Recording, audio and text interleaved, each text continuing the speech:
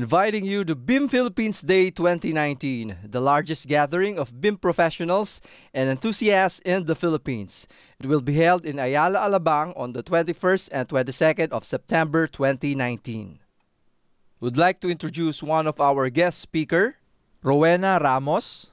She's an advocate of green buildings in the Philippines, a founding member of Philippine Green Building Council, and in BIM Philippines Day 2019, she will be sharing BERDE, a national voluntary green building rating system. Register now for BIM Philippines Day 2019.